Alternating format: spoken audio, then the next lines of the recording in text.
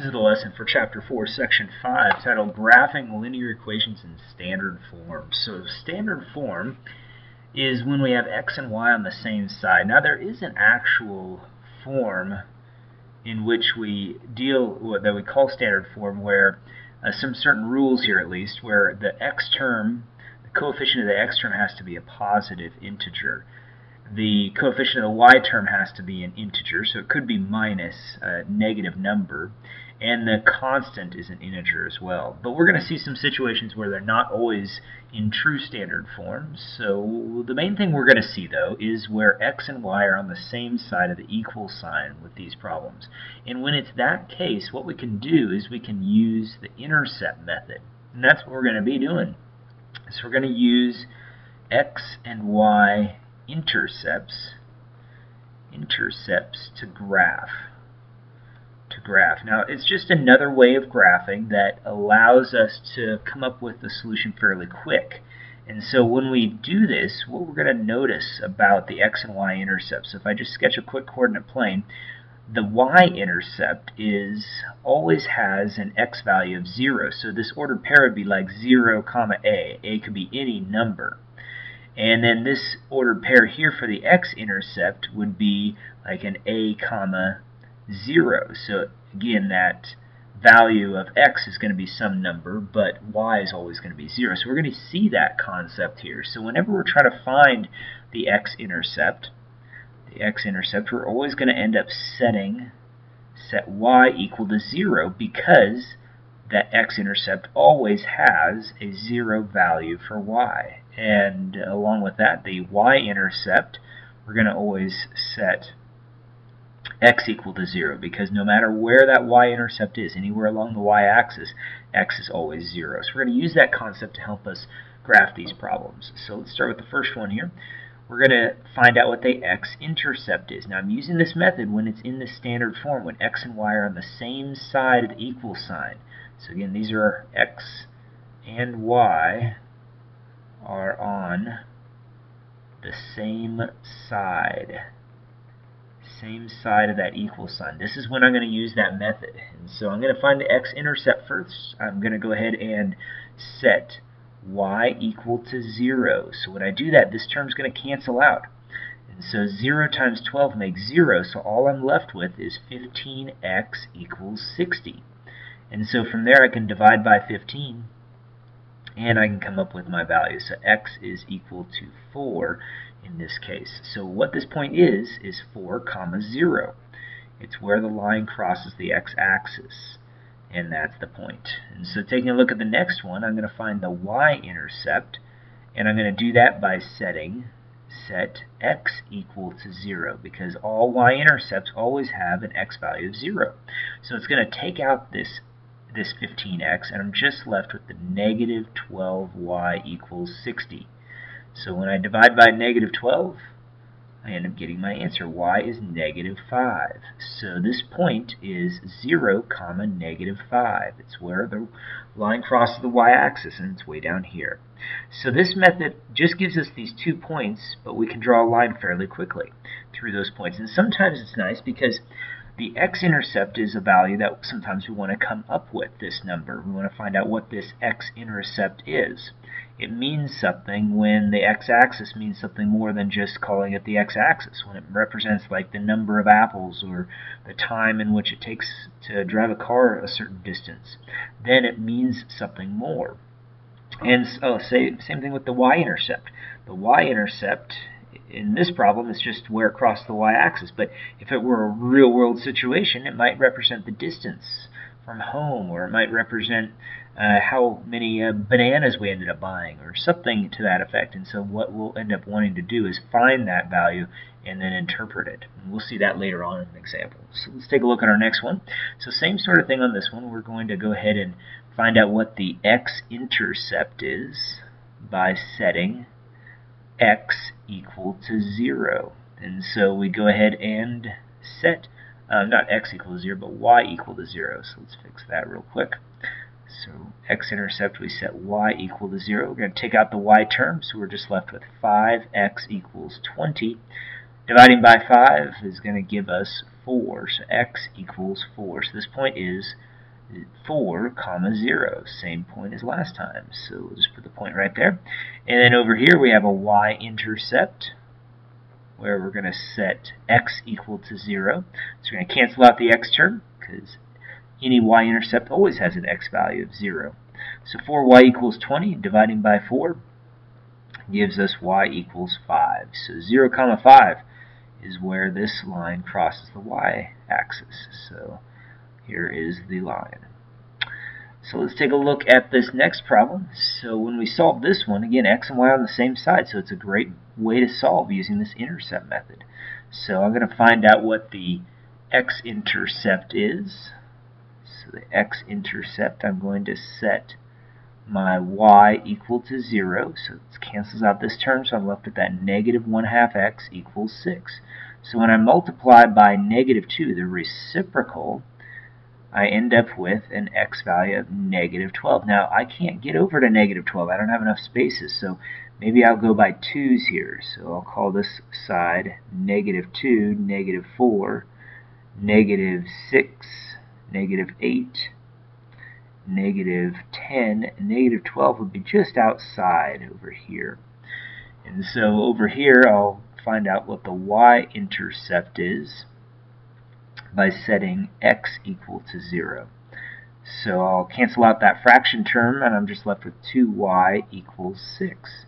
So y ends up equaling 3 when I divide by 2 on both sides. So this point would be 0 comma 3, where the other point was negative 12 comma 0.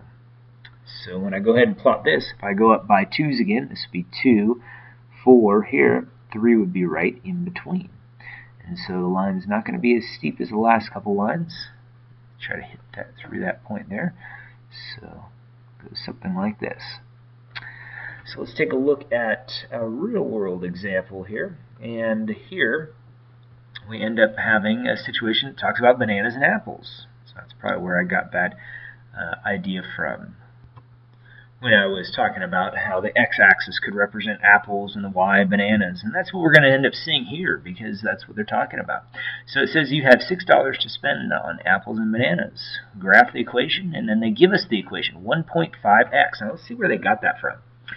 So x represents, it says the number of pounds of apples. And let's go ahead and write that down along the x-axis. Number of pounds of apples. And then over here along the y-axis, this represents right here, it says y is the number of pounds of bananas. So number of pounds of bananas. And then what we're going to end up doing is taking a look at where they got these numbers. Where they get the 1.5? Well, right here. See, it says apples are $1.50 per pound. So this is the rate the rate of the apples. Rates are whenever we have a fraction, like a slope, is what we talked about before.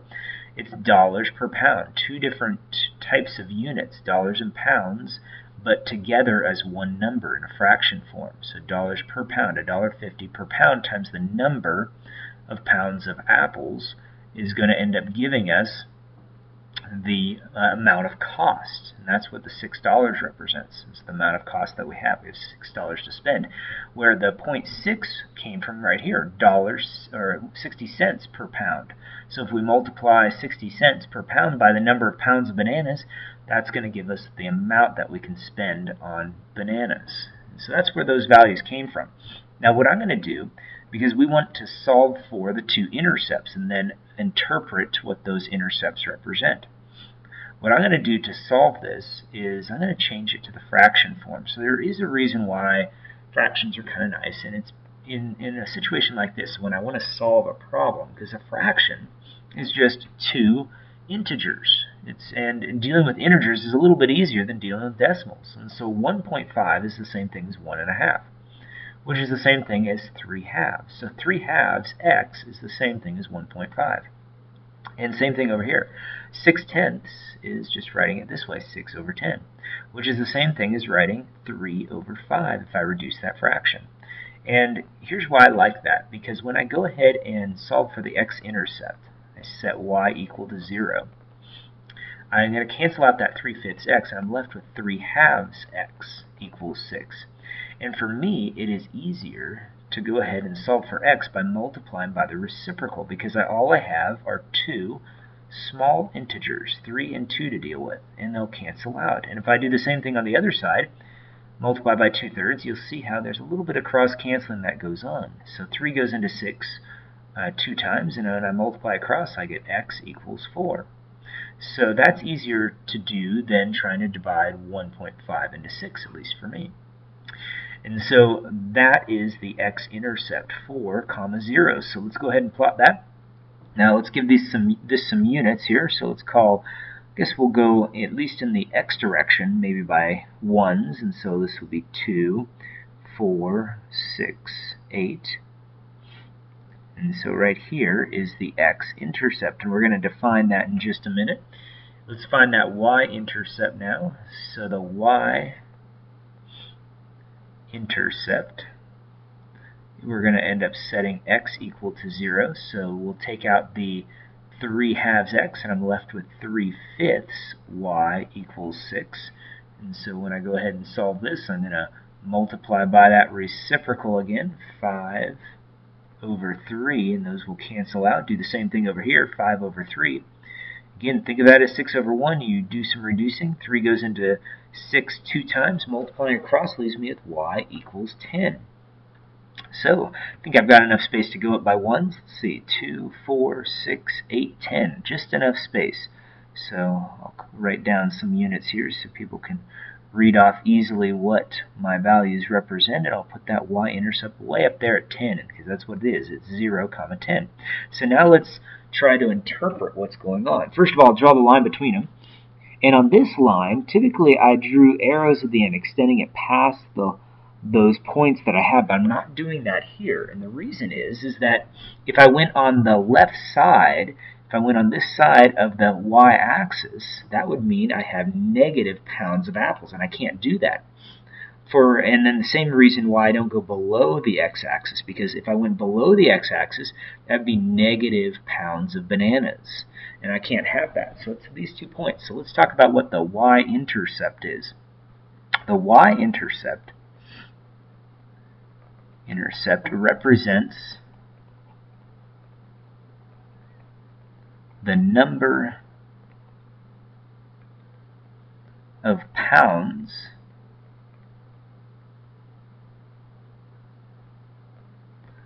of bananas I could buy if I did not did not buy any apples. So I have zero apples because the value of x is zero. And x represents the number of pounds of apples. So this point is 0, comma 10. So 10 means I bought 10 pounds of bananas and no apples, no pounds of apples for $6.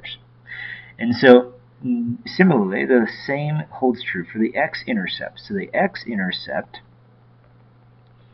x-intercept represents the number of pounds of apples I can buy if I do not buy any any bananas. So again, that point right there is 4 comma 0. It means I can buy 4 pounds of apples if I buy no pounds of bananas. And so that's what the x and y intercept represent. And sometimes we're going to want to find those to be able to graph just in between two points fairly quickly. So that's what you're going to see on tonight's homework. Good luck.